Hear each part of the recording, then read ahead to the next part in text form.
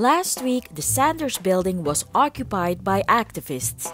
The executive board responded to the occupation by having the police forcefully evacuate the remaining students in the building.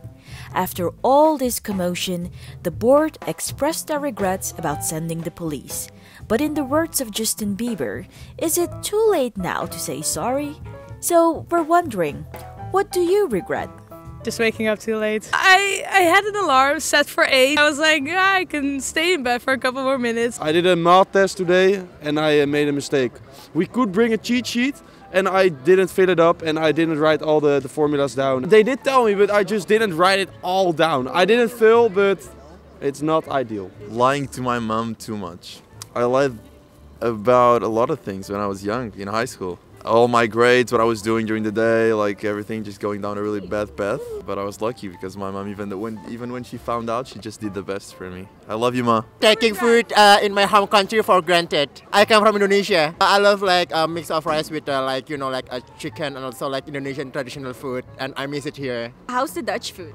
Honest opinion. That's very hard question. Like it is mostly plain. Not having the courage to start uh, hip hop dancing when I was small because I wish I was good at it. I'm not. I'm really bad at dancing, but it would be cool to be good at it. Career choices. I used to be a journalist. Now I'm a, a lecturer here at Erasmus. I turned 50 and then I ask myself, well, I shouldn't have done more, you know? I'm, I'm talking about uh, field journalism like covering the war of Ukraine and that kind of stuff, yes, it's too late. you need to be young and super fit and well, to have a drive that I would say I no longer have. I guess not saying goodbye to my grandpa, uh, grandma before she passed away.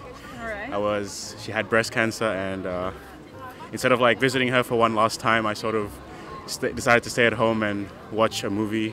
So I wish I said goodbye to her one more time. Yeah. I, I know she's always with me, you know.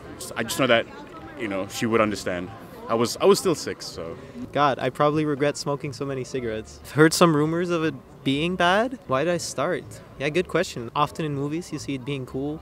It sort of gives me the impression that it helps with stress. While I'm studying, I'll probably continue smoking, but as soon as my life gets to a much more stress less phase, I would hope to quit, yeah.